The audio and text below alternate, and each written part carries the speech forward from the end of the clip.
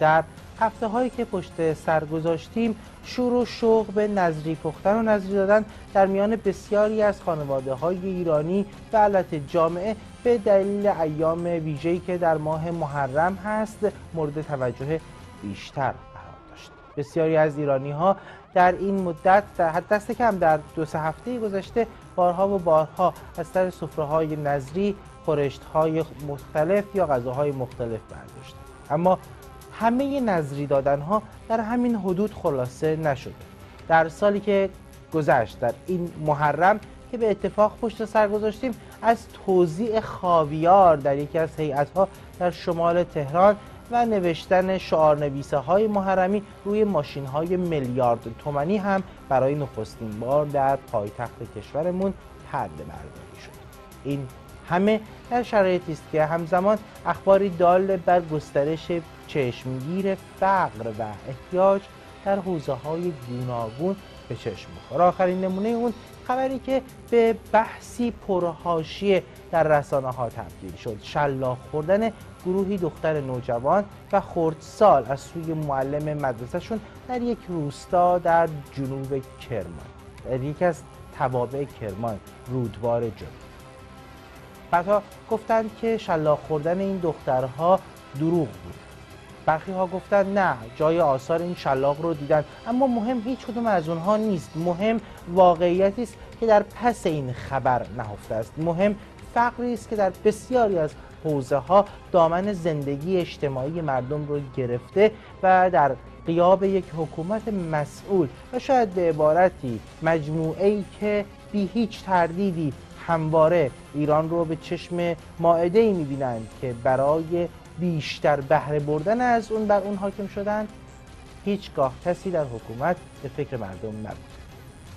در این شرایط متمولین در جامعه هم در سالهای گذشته تحت تاثیر فرهنگ ریا و ریاکاری بیشتر به تزویر رو آوردند تا کمک به محرومی از صندوق های صدقه که بارها و بارها درباره هزینه کرده پولهای این صندوق ها در کشورهای خارجی مانند عراق، لبنان و سوریه.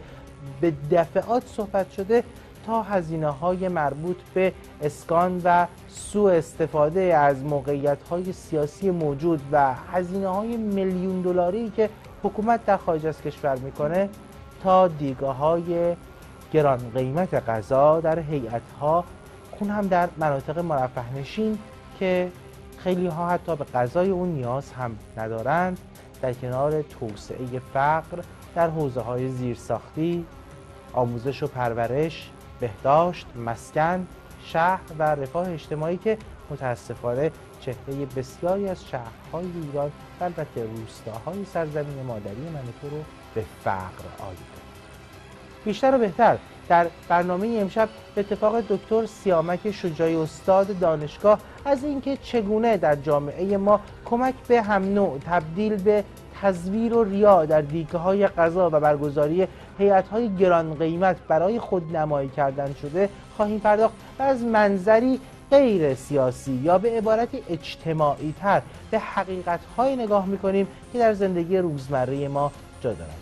البته اگر بشه بین دروغگویی و دخالت دین در سیاست خطی تمیز داد آقای دکتر مشخصا چرا در جامعه که تا به این اندازه فقر گسترش پیدا کرده همزمان ریاکاری هم تا به این حد افزایش داشته؟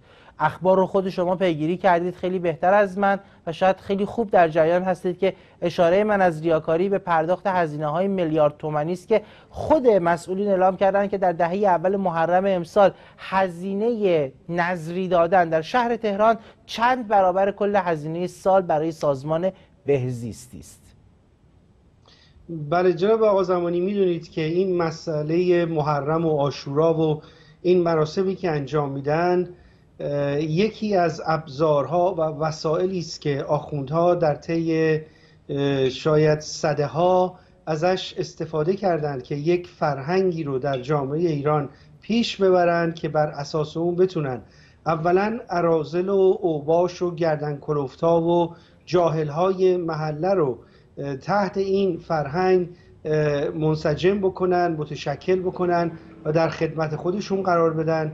و از طرف دیگه سعی کردند که به عنوان یک نهاد بزرگ فرهنگی اجتماعی و حتی هنری مردم رو مشغول بکنند و در زمانی که رادیو و تلویزیون و غیره وجود نداشت انجام این گونه مراسم مثل تعذیه خانی و روزخانی و غیره یکی از مسائل سرگرم کننده جامعه ما بوده.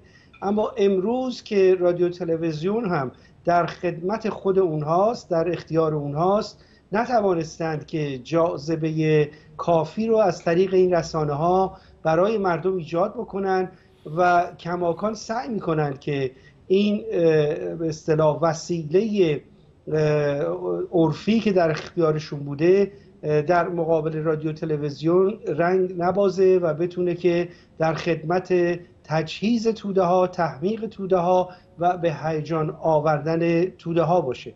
البته مردم ما می‌دونید که ما خودمونم در ایران وقتی که بودیم بنده سالها پیش در همین روزها بدون اینکه سینه بذارم یا وارد دستجاد سینه زنی بشم علاقه داشتم که برم ببینم چه خبره. و اتفاقا در اون دوران جوانی بیشتر ما می‌رفتیم که دختران محله رو تماشا بکنیم و باهاشون ارتباطی برقرار بکنیم. و از این بابت من خیلی هم با همسرم مشکل پیدا کردم هر وقت این خاطرات رو برای او تعریف می‌کنم. اما مسئله هزینه ای که اینها می‌کنن هزینهش برای اینها اصلا مسئله ای نیست. قبل از اینکه تمام بودجه مملکت در اختیار این آقایون باشه اینها از طریق خمس و زکاتی که می‌گرفتن حق نمی‌دونم امام و حق اون به اصطلاح آخوند محله که می‌گرفتن همیشه این بساتشون برقرار بود.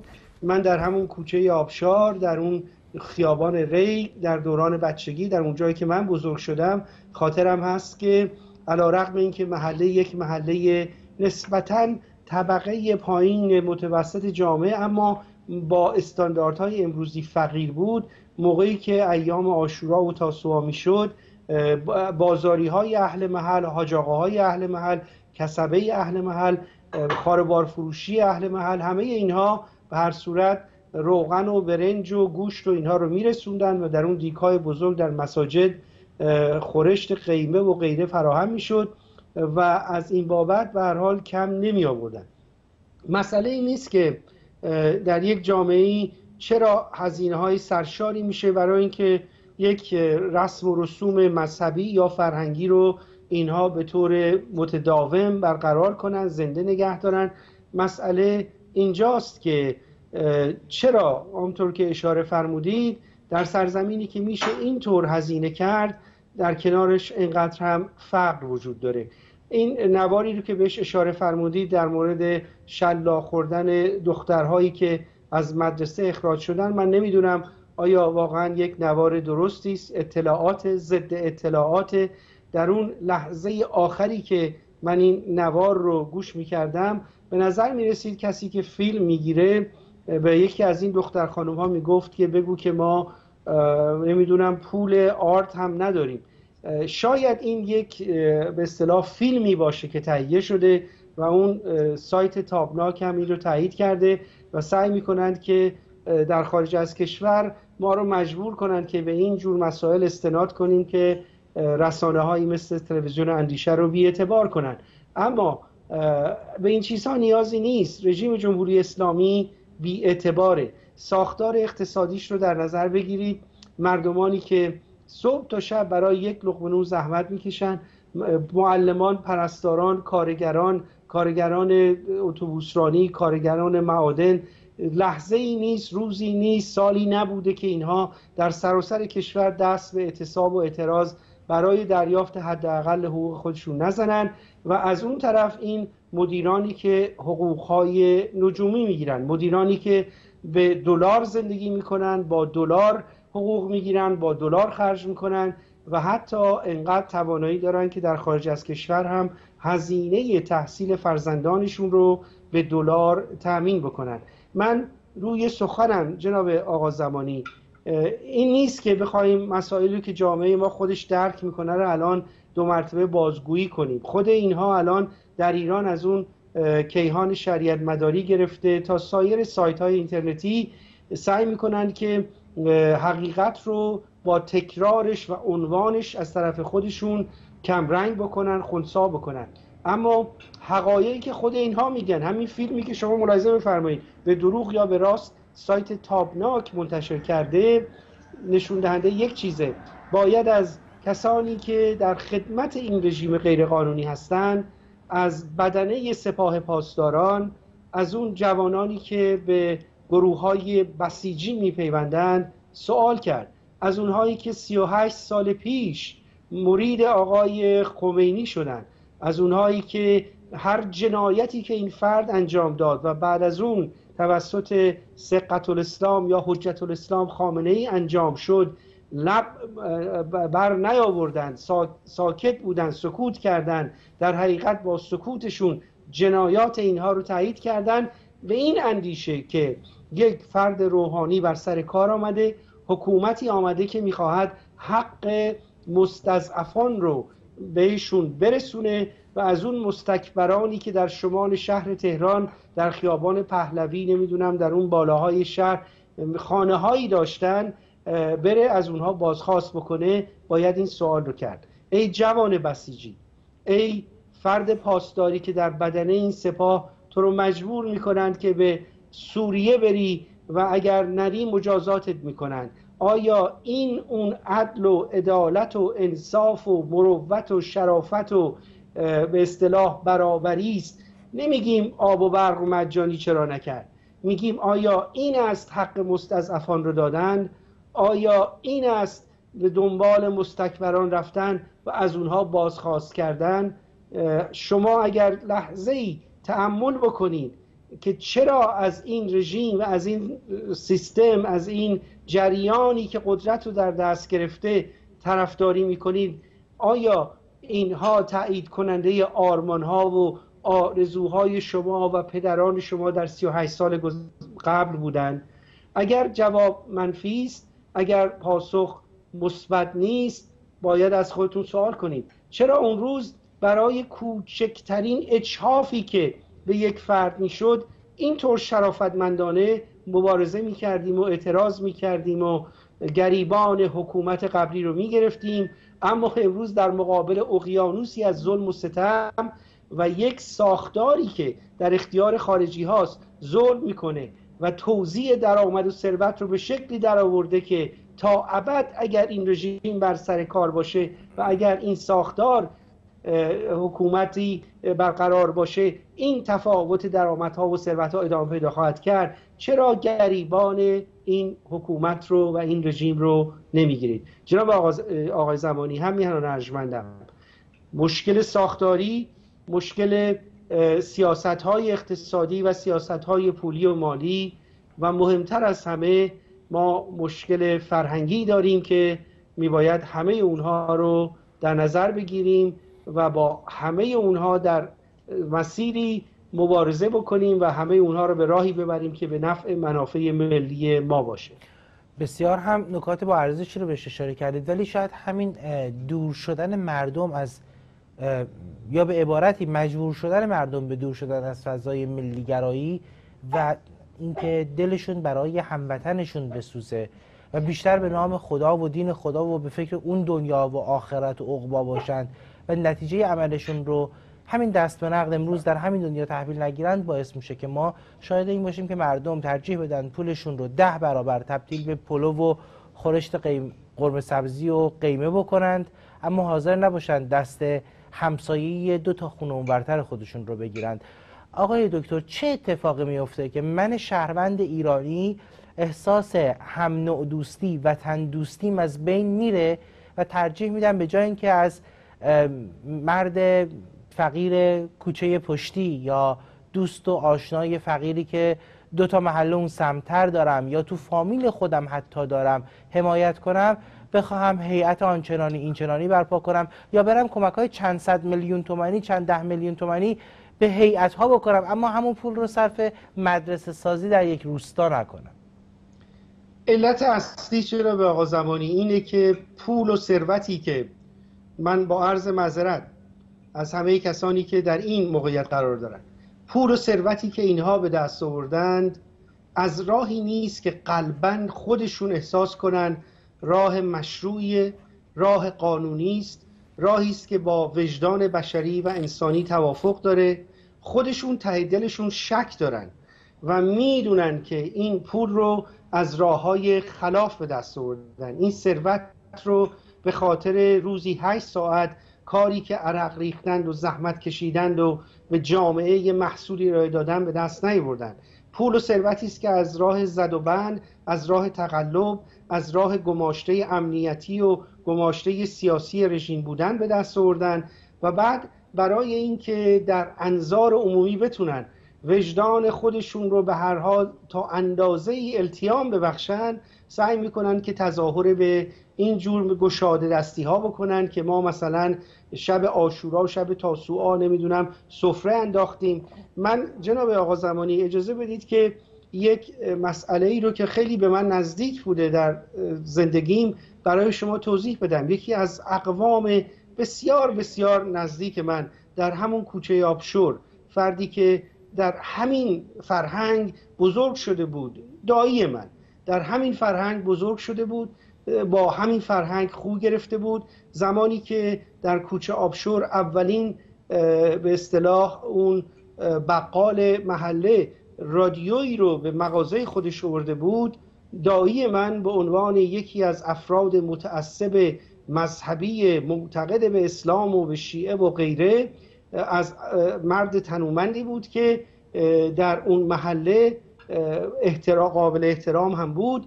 اما رفت در اون مغازه و رادیوی این مرد کاسب رو گرفت اوورد در وسط بازارچه زیر پاش تکه تکه کرد که این خلاف اسلام است. چون اون روزها فدایان اسلام یک چنین چیزی رو می‌گفتند و ایجاب می‌کردند. همین فرد خدا رحمتش کنه آدم خوبی بود با خطاهای فراوان. همین فرد در منزلش در همون محله های سنتی من ما و خاطرم هست.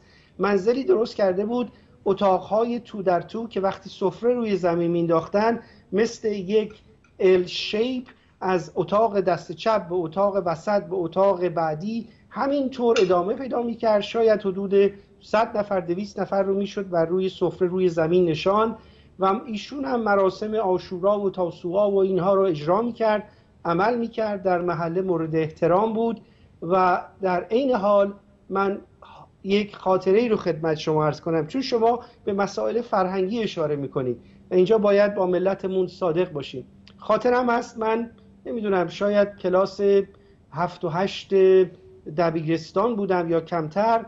یکی از همین شبها در منزل ایشون در همون کوچه آبشار که دیگ های غذا و چلو کباب و خورشت و پلو و همه چیز برقرار بود. و ما بچه هم اون وسط کیف می‌کردیم لذت میبردیم می‌رفتیم میخوردیم کباب برگ دو دفعه می‌گرفتیم اینها آمدن می آمدن در می‌زدن پشت در و مهمانان بسیار بسیار مهمی هم از محل آمده بودند افراد برجسته محل همه کاسب محل نمی‌دونم اونهای آخوند محل سین زنهای محل داشمشتی های محل سفره فراوان پر اصلا باورتون نمیشه. من صدای تقلبابی شنیدم. در زدن و آمدن و در, یک فردی پشت در بود. یک مرد با یک لباس همچین کهنه پاره پوره و آمد و کاسه ای رو آورده بود و تقاضای خوراک می‌کرد. خدا رحمت کنه. این برای من دردناکه. من ایشون رو از در منزلش رد کرد. گفت تو قبلا یه بار آمده بودی و گرفتی برو گم شو. و من اون روز بود که فهمیدم که این بساط دین و آخوندبازی و خمینی و آسورا و تاسورا و نمی‌دونم تاسوعا و اینجور تکه بازی ها حق بازی بیشتر نیست. در میان ثروتمندان نسبی محله ثروت نسبتا به اون چه که در اون محله میگذشت و چه داشت بهش معتقد بودن مرد شرافتمندی بود و البته حالا داستانهای دیگری است. اما من در همونجا در اون دوران کودکی متوجه شدم که چه دکان ریایی رو این آخوندا برپا کردند و متاسفانه افراد جوان نمی‌دونم مردان کاسب های ما حاجاقا بود ایشون هم ایشون هم حاجلی بود. حاجلی های ما چطور در این فرهنگ قوطه می‌خورن زندگی خودشون بد نیست زندگی شاهانه و مفصلی هم نبود. اما در این حال به اعتقاد من بر اساس ساختارهای انسانی فلسفه اقتصادی که می‌تونه یک ملتی رو با نشاط برقرار بکنه که به همه خواسته های انسانی خودش برسه یک سیستم عقب مونده. یک سیستم ارتجایی یک سیستم غیر الهی یک سیستم غیر طبیعی بود که متاسفانه امروز همونها قدرت سیاسی و اجتماعی و فرهنگی و حکومتی رو در دست گرفتن. این همون فرهنگه و من اون روزها امیدوار بودم هم میهنان ارجمندم که مملکت ما عقب مونده است. فکر می‌کردم در اون دوران به اصطلاح جوانی و نوجوانی که خب اینا یه مش عقب مونده قرون نمی‌دونم وسطایی نفهمن نمی‌فهمن. انشاءالله درست میشه. ما دانشگاه داریم ماها میریم دانشگاه تحصیل می‌کنیم. جوانها میان متوجه میشیم. امید چه بود؟ امید به این بود که سرزمینی داریم رو به پیشرفته. سرزمینی که دسته دسته دانشجویانش رو به خارج از کشور میفرسته. سرزمینش دانشگاه هایی که داره که در اون دانشجویان افراد جوان دارن علم مدرن امروز رو یاد می‌گیرن و اینها میان و این عقب مانده های فکری رو در این محله های سنتی آگاه می‌کنن کنار نمی‌زنن اما میارن اونها رو و به سمت و سویی که مملکت به سوی پیشرفت بره و جامعه متوجه بشه که اگر ساختار اقتصادی جامعه درست باشه فقیر و درمانده و بدبخت و گرسنه نباید در جامعه باشه. نباید کسی محتاج این باشه که بره مثلا لقمه نون نظری بگیره نمی‌دونم حلوای نظری بگیره. اگر هم بر اساس بلایای طبیعی کسی محتاج شد باز این نظام پرقدرت تأمین اجتماعی وجود داره که این فرد یا این خانواده یا این افراد رو حمایت بکنه. اما متاسفانه نمی‌دونستیم که در همون زمان در همون زمان در کنار ما مدارسی هست. مثل نمی‌دونم مدارس مذهبی که افرادی مثل آقای ظریف و امثال اون رو داره تربیت می‌کنه که 38 سال حتی بعد از اون روی, روی کار آمدن خمینی شاید چهل و چند سال از اون دورانی که من برای شما تعریف می‌کنم بیاد به عنوان وزیر خارجه کشوری کهنسال به نام ایران و بره و کارگزار خارجی بشه و وقتی که میره به مجلس برای آشورا و تاسوعا اشک بریزه و این تحمیق عمومی رو گسترش بده. خب آقای دکتر عذر می‌خوام از محضرتون ولی شاید همه چیز ما باید به همه چیزمون جور بیاد. یعنی این مسئله که قدیمی ها هم گفتند مسئله که پر خالی نیست از مغز و فهم در بیان خودش. این ریاکاری به مفهومی است که بسیاری از همین راه امید واهی می‌خرند. بالاترین محصولی که همواره روحانیون برای فروش به مردم داشتند. امید واهی بهشت و ترس واهی جهنم که با اون برای قرنها تونستن مفهوم اخلاق رو در جامعه معنا کنند و اصالتی رو به عنوان ارزش به مردم بفروشند. خب همین رویا فروشی ها امروز هم وجود داره. من میان صحبت های یک مداح در یک منبر مذهبی و حرفای آقای ظریف به اشاره شما روبروی دوربین مثلا چنل ABC خیلی فرق نمی‌گذارم. با یک راه دارند و از یک مسیر دارند با مردم صحبت می‌کنند. فکر نمی کنید که این همخانی لازمه است که از درون جامعه بیرون آمده؟ یعنی به جای اینکه این بار از این زاویه ببینیم که جمهوری اسلامی مسبب چنین حالاتی است ما مردم هستیم که مسبب پیدایش و استمرار جمهوری اسلامی است؟ بدون شک تا ملتی خودش منفعل نشه اینطور نمیشه برش مسلط شد.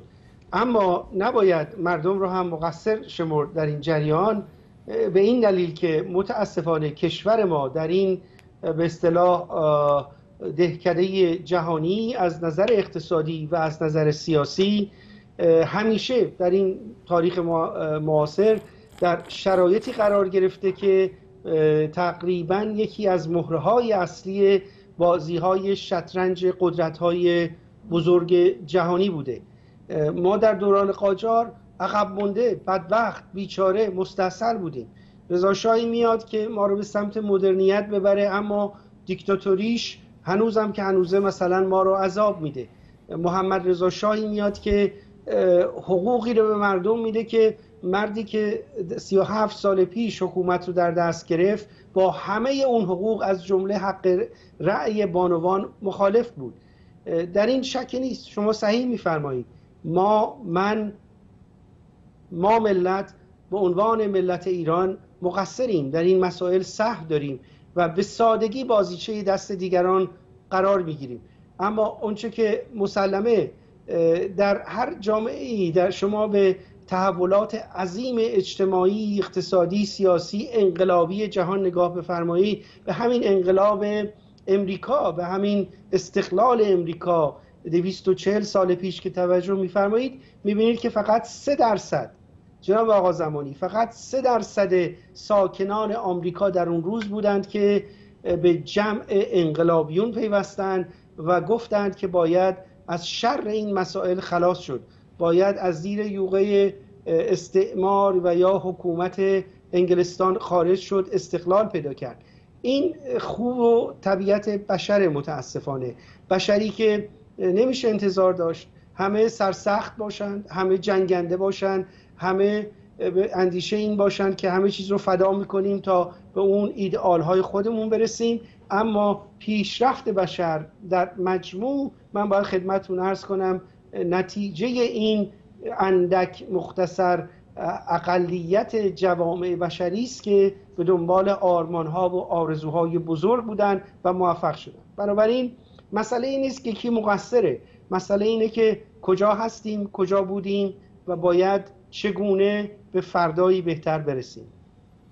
در چنین شرایطی و با یه همچین نگاهی آقای دکتر مردم روی کسی اجبار نمی‌کنه که برن هیئت یا در واقع نظری بدن یا کسی بهشون نمیگه که پولتون رو چجوری خرج بکنید چجوری خرج نکنید. جدای از شستشوی مغزی یا تبلیغات سازماندهی شده ای که حکومت در سالهای گذشته به اسم دین و مذهب انجام داده. تمام تریبون ها رو هم همونجوری که اول برنامه خودتون اشاره کردید از رادیو و تلویزیون و مطبوعات گرفته تا شبکه های ماهواره و و و خیلی چیزهای دیگه.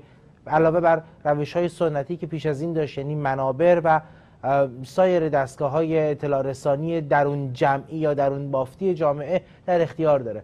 ولی کسی مردم رو مجبور نمی‌کنه که شما بیاید برید نظری بدید این انتخاب منه که نظری بدم و جلو خونم صف بکشن یا اینکه همون پول رو صرف مثلا ساختن یک مدرسه یک اتاق کوچک خرید جهیزیه یا هزاران کار دیگه برای هزاران فرد محتاج دیگر در جامعه بکنم. چه بسا صاحبان اموال و سرمایه هایی که حتی من می‌تونم اسم بیارم و برخی از اونها مانند کسی که نمایندگی نوکیا رو در ایران به عهده داره وابسته به حکومت هست برادر او در فقر و تنگ دستی زندگی می‌کنه اما او هیئت های چند صد میلیون تومنی هر شب در خیابان وزرای تهران برقرار می‌کنه. خب اینها رو وقتی آدم کنار هم می‌گذاره تعجب می‌کنه که چرا او به برادر خود روا نداره اما ریاکاری رو پیشه می‌کنه. این این عدم اجبار مفهوم اتفاقات رو تغییر نمیده از دیدگاه شما به عنوان استاد دانشگاه؟ جناب آقا زمانی اون فردی که فرمودید که این دکونشه این یکی از هزینه های تبلیغاتیشه که شما می‌بینید شما اطلاع دارید به بنده هم فرمودید به همه گفتید. اما من مطمئن هستم که در عین حال بسیاری از افراد جامعه ما هزاران نفر از افراد جامعه ما هستند که جلو دوربینا نیستند. اون کسی که این کار رو نکرده جناب آقا زمانی و پول اینو برده داده به همسایه محتاجش یا مراسم ازدواج دو جوان رو فراهم کرده اینها در جلوی دوربین و تلویزیون ها نیستن و کسی اینها رو نمی‌بینه. من به شما یک مثالی زدم یک موضوعی رو در مورد یکی از اقوام عرض کردم. یک قوم دیگری هم داشتم که اتفاقا مقابل این بود. هر چه که پول می‌تونست جمع بکنه می‌گفت من اینو به یک همسایه‌ای برسونم به در درون خانواده در حتی درون خانواده ببینم که چه کسانی هستند که نیازمندند و به اونها کمک کنند. به هر حال طبیعت بشر رو جناب آقا زمانی نمیشه عوض کرد. بستری که هست اون ساختاری هست. ساختاری که آیا اخلاق خوب رفتار نیک پندار نیک گزینه های نیک رو ترویج می‌کنه وجود داره یا ساختاری است که ریا و تزویر و دروغ و حق بازی و تظاهر رو ترویج و ترغیب می‌کنه.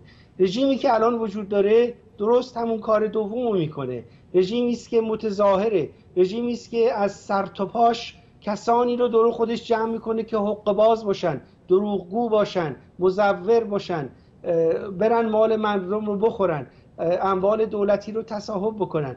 و ببینید در بین کسانی که در همون جنگ هشت ساله جناب آقا زمانی زخمی شدن معیوب شدن الان در جامعه ما فراوانن. به اینها هم محله می‌گذارن. به اون کسانی که واقعا از سر صدق از سر اخلاص رفتند فداکاری کردند حتی به خاطر همین نظر و عقیده عقب مانده خمینی به اونها هم اینها هیچ گونه توجهی ندارن.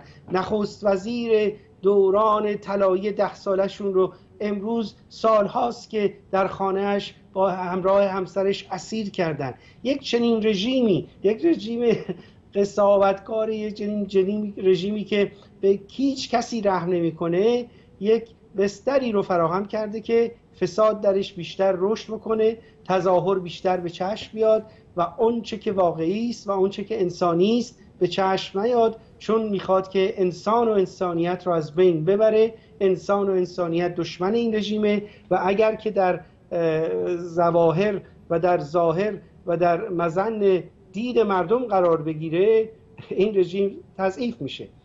جناب آقا زمانی مشکلات فرهنگی رو ما باش واقف هستیم اما در این مبارزه عظیمی که بر دوش همه ملت ایرانه ما باید بیشتر به اون نکات مثبت و اون توانایی های به اصطلاح مثبت مردم خوب ایران تکیه بکنیم و امیدوار باشیم که این همه ریا و تزویر و نیرنگ و حق بازی و این بساط نمی‌دونم نظری دادن و غیره به عنوان احترام یک مراسم سنتی نمیشه بگی از بین بره. نه بمونه اما در شرایطی که کارگران بیکار جوانان گرسنه جوانان ناامید پرستاران زحمتکش معلمان رنج دیده اونها هم بتونن از یک تأمین اجتماعی حداقل برازنده شعن و مقام انسانیشون برخوردار باشن.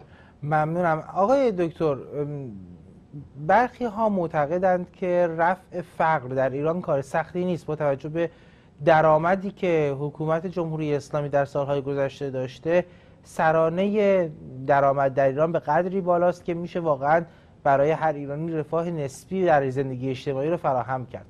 برخی ها دزدی ها و دستاندازی های حکومتی رو لحاظ می‌کنند برخی ها هم این مسئله رو پیش می‌کشند که اساساً بر اساس همون جمله معروفی که گفتن انگلیسی ها گفتن که ایرانی رو گرسنه نگردار عرب و سیر اگر می‌خوای بهشون حکومت کنی دوست ندارن اصلا مردم به رفاه یا امنیت نسبی برسن. دهنهای گرسنه برای بقای حکومت بیشتر کار می‌کنه تا شکمهای سیر. نظر شما چیست؟ شما هم واقعا فکر می‌کنید که واقعا سیاستی در حکومت اسلامی در ایران وجود داره که ترجیح میده فقرا و مستمندان و نیازمندان در جامعه بیشتر از اقشار متوسط اجتماعی و غنی جامعه باشن؟ رژیم سعی می‌کنه که فقر فرهنگی باشه نه فقر اقتصادی برای اینکه اگه قرار بود فقر اقتصادی باشه اون وابستگان به رژیم دار و دسته رژیم اینقدر در این ثروت های نجومی قوطه نمیخوردند و از این مواهب زندگی استفاده نمی‌کردند. نه خیر رژیم به اعتقاد من نرفته برنامه ریزی بکنه مگه مردم رو فقیر نگه داریم. خیر رژیم ماهیتش ساختار اقتصادیش اجتماعیش به شکلی است که فقر رو توسعه میده و در عین حال ثروت رو هم در دست یک اندک جماعتی در جامعه ما انباشته می‌کنه. رژیم رژیمی است که داره از زیر لبان سرمایهداری بین المللی لجام گسیخته ارتزاق می‌کنه. داره از این طریق به حیات خودش ادامه میده. من نمی‌دونم که آیا میشه همه مردم ایران رو براشون زندگی فراهم کرد از نظر اقتصادی؟ درست مشابه مثلا افراد طبقه بالای متوسط امریکا. اما من معتقدم که میشه فقر رو در حدی که کسی در ایران گرسنه نباشه کسی در ایران محتاج دارو و دوا نباشه کسی در ایران محتاج این نباشه که شلاق بخوره که بتونه مثلا شهریه رو بیاره پرداخت کنه بره به دبستان یا دبیرستان. در حدی که کسی محتاج به یک آلونکی نباشه که یک بالاسری داشته باشه فقر رو در حد 80 میلیون ایرانی در این صد یعنی مایحتاج اولیه هر انسان و هر ایرانی میشه در ایران از بین برد. با توجه به منابع طبیعی که در ایران وجود داره با توجه به استعدادهای انسانی که در ایران وجود داره و با توجه به درآمدهای نفتی و ارزی که می‌تونه تکنولوژی مواد اولیه و سایر مواد ساختاری رو که برای فراهم کردن یک چنین زندگی لازمه و در درون امکان وجود آوردنش وجود نداره از خارج وارد بکنه در این شرایط ایران می‌تونه یک کشوری باشه نه بهشت روی زمین باشه همه در قصد زندگی کنن. میشه یک شرایطی ایجاد کرد که یک همه مردم ایران در یک خانه کوچک سرپناهی داشته باشن آسودگی خیال داشته باشن بعد از اون ما برای اون هر کسی هم که بیشتر کوشید هر کسی هم که بیشتر تقلا کرد هر کسی هم که استعدادهای خدایی و طبیعیش بیشتر بود بیشتر ببره بیشتر بخوره. اما امروز حق اون درماندگان رو می‌گیرن به ریال تبدیل می‌کنن از اون ریال به دلار تبدیل می‌کنن در فرانسه و در اورنج کانتی کالیفرنیا و در کانادا و غیره. قصرهای آنچنانی فراهم می‌کنن خب. و بعد در ایران هم نظری میدن. دقیقا. حالا حالا نکته دقیقا همینجا سای دکتر. شاید منم خیلی دلم بخواد که وقتی که در مورد ایران صحبت می‌کنیم حالا برای شما به طبع اینکه در نیویورک هستید در پیشانی پایتخت فرهنگی امروز جهان هستید بیشتر جلوه می‌کنه.